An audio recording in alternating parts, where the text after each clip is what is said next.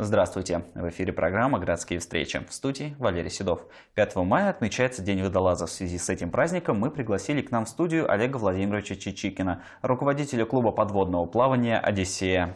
Здравствуйте. А, Здравствуйте. Олег Владимирович, вот давайте немножко о том, кто же такие водолазы, чем они занимаются.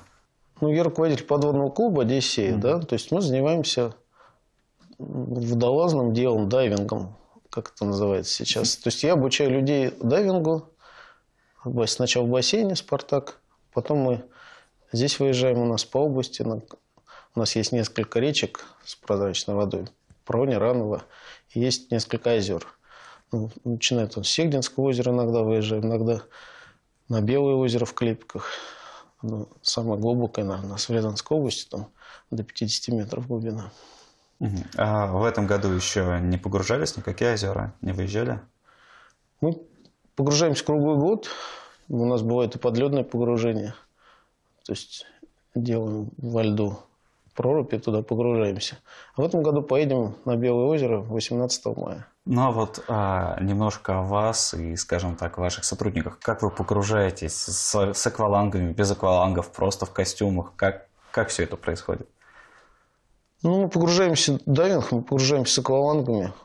Охотимся мы на речке Прони, на речке Раны, конечно, без аквалангов, то есть просто на Волгу ездим по подводной охоте заниматься. А так, ну, все, конечно, все вот эти поисковые вещи, они требуют все ну, обучению дайвингу. Погружаемся мы ну, с, своими, с своим оборудованием. Конечно, в костюмах, потому что холодно.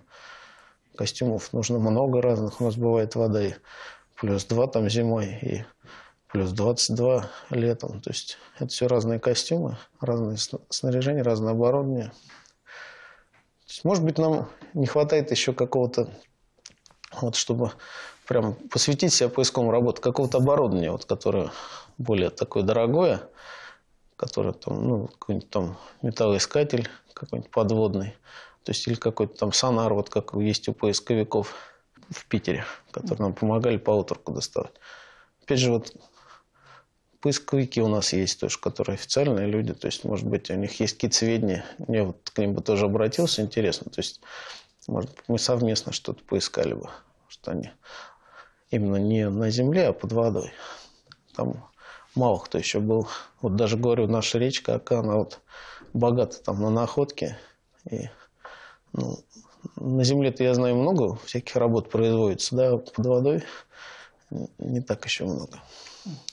А, вот немножко, опять же, возвращаясь к дайвингу, а, как быстро человек, ну, обычный, может научиться погружению под воду? Ну, это очень индивидуально, но на самом деле вот я обучаю по программе, которая подразумевает 8 занятий в бассейне, потом 5 погружений на открытой воде, и, в принципе, человек самостоятельно готов, ну, с напарником, там, так, таким же обученным, готов самостоятельно погружаться. А, вы погружаетесь, как вы говорите, и зимой, и летом. Когда лучше? Конечно, летом. Конечно, летом лучше в прозрачной воде. У нас прозрачная вода бывает вот осенью. Это, конечно, приятно красиво вот на, на речке. То есть там все вот это вот своя определенная красота. Не только же вот ну, я объездил весь мир с своим, вот, с тем, кого обучил. Мы были ну, ну, во всех океанах я нырял, во всех этих. Ну, здесь своя красота у нас есть тоже. Когда плывешь по речке Ранове, там, там и рыбки, и трава, и все вот это вот из солнца пробивает, когда прозрачная вода, это очень красиво, интересно. Зимой, благодаря гидрокостюму, а, чувствуется весь этот холод, или как-то он сбивается, или все равно холодно? Нет, ну если подходить к этому ну, так основательно, мы ставим палатку на лед без дна. У нас палатка, у меня есть палатка, которая, ну, такая кубик 2 на 2 метра. Там внутри делаем майну. Здесь в палатке горит горелка. То есть костюм, у меня, который не, не неопреновый, а так называемый сухой костюм, который полностью изолирует от воды. И погружаешься ты с тепла, там человек тебя страхует обязательно стоит зимой и возвращаешься в тепло, и очень комфортно. Ну, это требует, конечно, определенных навыков, более такого обучения серьезного, чем просто понырять там на речке да, с прозрачной водой.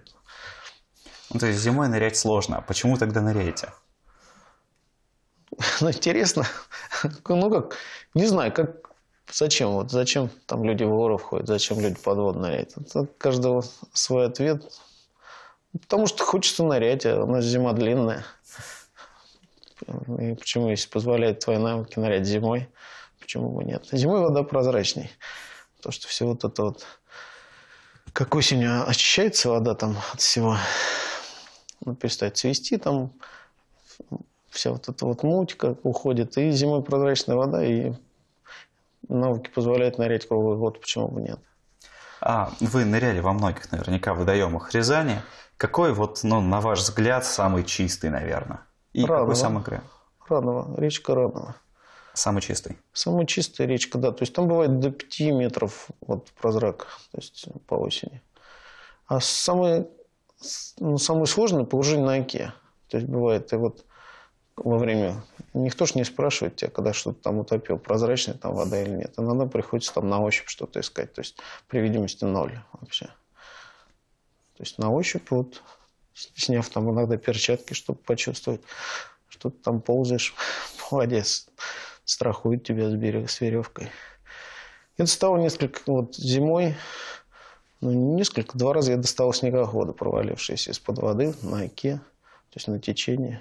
Э, такое дело тоже очень непростое. То есть люди отважно ездят по открытой воде ну, и в полыни проваливаются.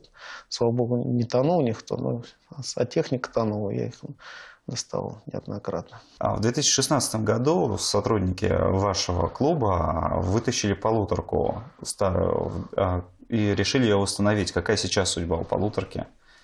Полуторка восстанавливается. Вот оказалось, что это очень не так, как мы думали, не такое простое дело. И все это ну, растянулось во времени. Но сейчас она находится в музее куда мы передали еще в 2016 потихонечку, мы ее восстанавливаем потихонечку. Вот она, надеемся, что она когда-нибудь поедет у нас здесь на парад Победы. А какие-то еще находки были? Находки были, да. То есть мы несколько раз устраивали поисковые экспедиции. Одна из них мы ездили в Адлер, ну это, наверное, лет 10 уже назад. Искали штурмовик Л-2, который разбился там при посадке тоже в войну, но утонул в море не нашли. Ездили здесь в Михайловский район, искали танк, наш танк Т-34, который по рассказам очевидцев еще живых, то есть там утонул тоже в речке Пронь, ну тоже не нашли, поскольку, наверное, над ним очень много уже нанесло ила. А так я периодически ко мне обращаются, ну, к нам, в клуб, когда утопят что-нибудь на Вайке, в озере, там, находим лодки, моторы от лодок. Я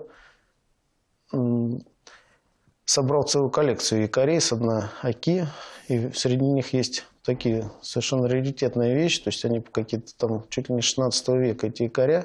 Еще знаю, где несколько лежит в планах вот их поднять в этом году. Это все здесь практически в черте города Рязань. А как а, осуществляется поиск? Вот вы говорите, например, ну так, на примере, танк Т-34. Ну, понятно, вы поговорили с очевидцами, а как его искать в воде? С помощью чего? Ну, с помощью вот, ну, только визуально, вот, частенько на ощупь, поскольку ну, видимость не позволяет посмотреть все вот это, осмотреть сразу. По утру мы нашли, нам помогали местные поисковики. У них есть, конечно, какой-то сверхчуткий сонар, который ну, ее показал, где она на дне, мы уже к ней ныряли, когда вот она лежит. То есть таким образом тоже происходит. Ну а вот якоря, например, те же самые, как удается найти, узнать, что, где они лежат? Я очень люблю нырять. Я ныряю с 87 -го года, еще закончил школу ДОСАВ тогда еще у нас был. И с тех пор ныряю много. И ну, просто якоря – это случайность. То есть иногда вот во время просят тебя поискать там мотор лодочного топили, и раз, и находишь что-то еще. И вот иногда от якоря, который старый, торчит какая-нибудь одна вот деталька, одна лапа. И потом потихонечку его откапываешь и с помощью вот своей машины, там у меня лебедка на машине, потихонечку вытаскивать его. Вытаскивали. И вот, говорю, у меня скопилось много всяких разных. Иногда рыбаки обращаются, там якорь утопил. То есть, ну, какие-то знакомые хорошие. Вот пожалуйста, нырнул, а там еще что-то рядом лежит. Вообще очень много у нас на оке. Здесь вот, честно ныряю, вот от трубежа в падении ниже, ну, очень много всего лежит. Там стоит, как можно задуматься, почистить реку. Там. То есть там на каждом квадратном метре что-то лежит. Лодки какие-то вот старые утонувшие. В машине, я знаю, несколько лежит остовы в оке. Может, это эхо еще 90-х годов.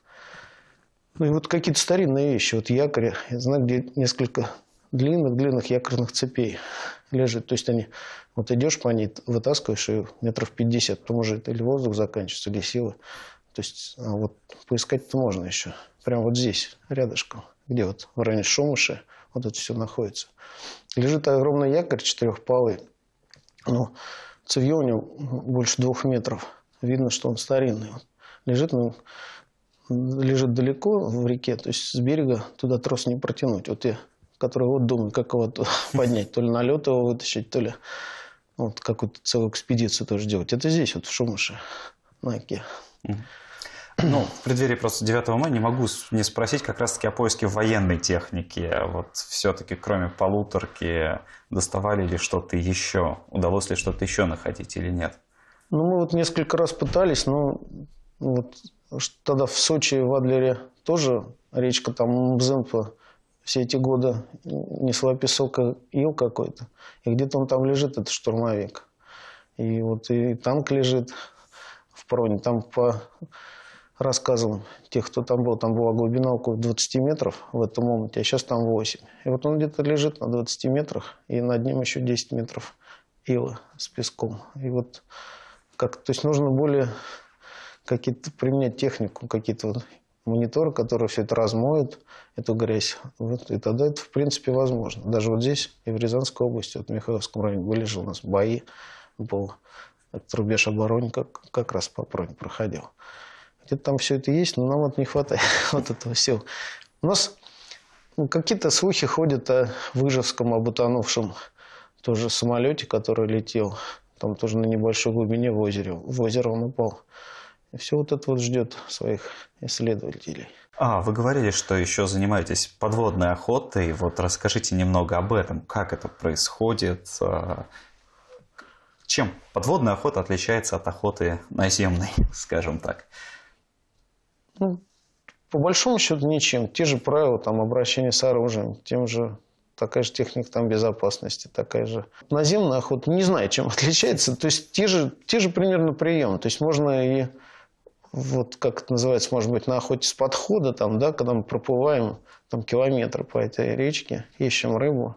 А бывает, что ну, достаточно лечь там в тростнике где-то затаиться, и мимо тебя проплывет какая-нибудь щука зачетная там, или сом. То есть практически ничем не отличается. То есть приемы охоты можно провести параллели. И там, и там такие примерно одинаковые. Самая крупная добыча? Самая крупная добыча я один раз стрелил на оке сама на 60, на 60 килограммов. То есть и самое интересное было потом его доставать из воды, то, что он сильнее тебя. То есть мало того, что его застрелил, нужно было его как-то потом... Я был один, на берег он не хотел, я ходил с ним очень долго вдоль берега. Потом как-то в эту засунул хорошо рука в перчатки, взял в рот ему по локоть руку и потом вот так вот довез его до лодки, и потом как-то к лодке привязал и дотащил до берега, где смог его уже погрузить там в машину. На этом я с вами прощаюсь. Хорошего вам дня и до встречи в эфире.